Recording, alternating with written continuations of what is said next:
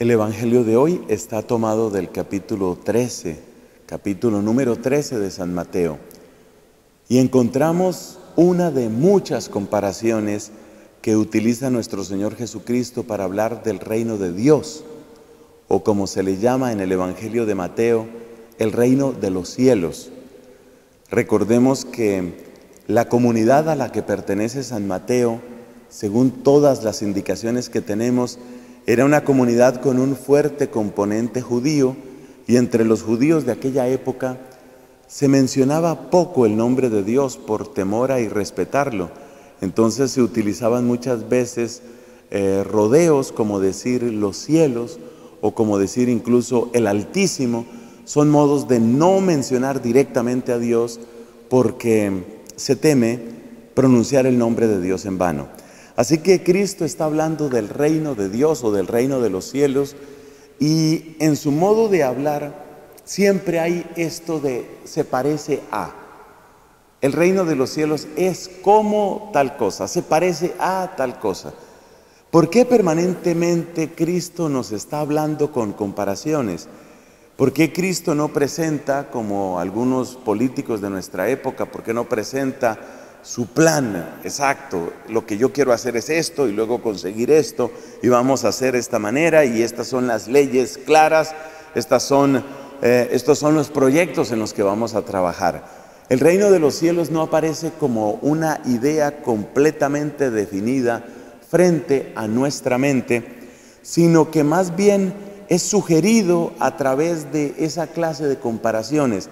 Se parece a una siembra, se parece a una perla, se parece a una red, nos dice el día de hoy, y uno se queda un poco desconcertado, uno como que dice, bueno, pero, pero ¿cuándo va a hablar claramente? ¿Cuándo nos va a explicar claramente qué es el reino de los cielos? La razón por la que no se puede dar esta definición es porque cuando nosotros em, tenemos algo que está completamente definido, es como cuando vemos algo que creemos entender del todo. Y cuando uno cree entender, entonces uno tiene fácilmente la idea de que puede también controlar. Lo que uno entiende, ya uno piensa que lo puede controlar. Así ha sucedido muchas veces en la historia de la humanidad. Esa es la historia de la ciencia y de la tecnología. A medida que avanza la ciencia, es decir, el conocimiento, también avanza la tecnología, es decir, el control, incluso la manipulación. Fíjate, por ejemplo, lo que está pasando ahora mismo en nuestros días con el asunto de la genética. Tenemos graves dificultades ahí porque resulta que a medida que se comprende mejor y se conoce mejor eh, todos estos temas de la reproducción humana, pues entonces ya, ya van surgiendo ideas. Bueno, ¿y qué pasa si en esas cadenas de ADN nosotros quitamos este gen y ponemos este otro, si cambiamos este cromosoma por este? Espérate, vamos a armar al ser humano. Es decir, fácilmente se pasa del conocimiento a la manipulación. Hay una novela, una novela prácticamente de terror, la consideraríamos, que es la que cuenta la historia de un monstruo llamado Frankenstein. Y Frankenstein es el resultado de la tecnología médica y de la ingeniería eléctrica en sus comienzos.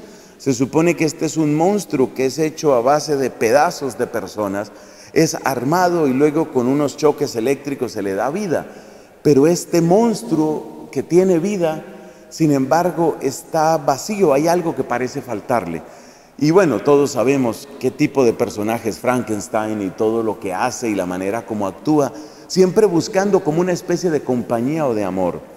Bueno, podemos decir que hacia allá va la genética en muchos aspectos. Es decir, vamos a tomar pedazos de aquí y de allá y vamos a diseñar al ser humano. Vamos a hacer ese ser humano que a nosotros nos parece que debe existir.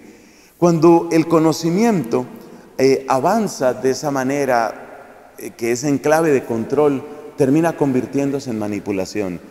Y cuando Cristo, en cambio, nos está hablando permanentemente del reino de Dios, reino de Dios, pues el sentido es ese, el reino es de Dios. Nosotros algo comprendemos de ese reino, pero realmente no llegamos a conocer, no llegamos a controlar, no llegamos a descubrir todos los resortes y las fuerzas y los recursos, porque finalmente el reino de Dios depende de su sabiduría y del tamaño de su poder. Entonces, no está en nuestro poder porque es el reino de Él. Y en ese sentido, lo que necesitamos no son las instrucciones para ver cómo hacemos que Dios reine, sino las instrucciones para permitirle a Dios que reine en nosotros. El propósito de las parábolas no es cómo reemplazar a Dios. El propósito de las parábolas es cómo abrirle la puerta a Dios. Y por eso se equivocan los que utilizan ese lenguaje de vamos a construir el reino de Dios. Así como se construye en genética un ser humano, así como se construyó Frankenstein, entonces vamos a construir el reino de Dios. Ahora vamos a hacer esto, esto y esto otro y ahí reina Dios. Es decir, ya hemos logrado que reine Dios. Ya hicimos el reino de Dios. No, las parábolas no tienen el objetivo de enseñarnos cómo reemplazar a Dios. Tienen el objetivo de mostrarnos con qué disposiciones hay que acercarse al Señor para que Él, Él reine en nosotros.